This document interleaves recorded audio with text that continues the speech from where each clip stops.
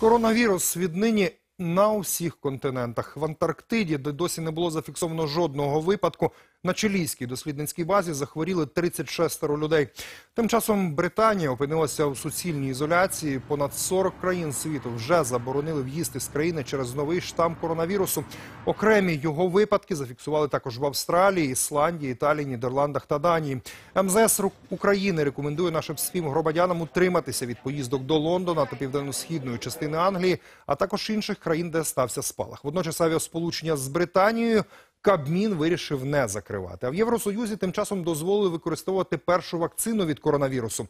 Напередодні Європейська комісія надала ліцензію вакцині від компанії Pfizer-BioNTech. Тож щеплення в Європі планують розпочати вже цього тижня. Наталя Фібрік далі з подробицями із Берліна.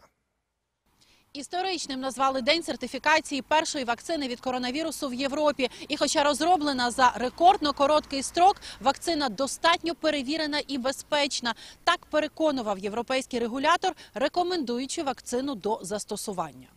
Вакцина відповідає найвищим вимогам Європейського союзу щодо безпеки і якості. Її вироблено згідно з найвищими медичними стандартами. Це свідчить про те, що користь від вакцинації більша за ризики.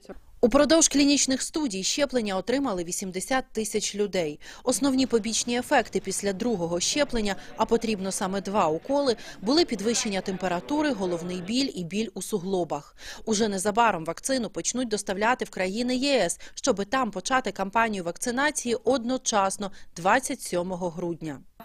Я завжди казала, в умовах пандемії ми всі перебуваємо в одному човні. Таким чином, вакцинація може розпочатися одночасно під час старту кампанії в Європейському Союзі 27, 28 і 29 грудня. І це дуже хороший спосіб завершити важкий рік і нарешті перегорнути сторінку про COVID-19. Сподіваються, що вакцина буде ефективною і проти нового штаму коронавірусу, який виявили у кількох країнах, а передовсім Великобританії.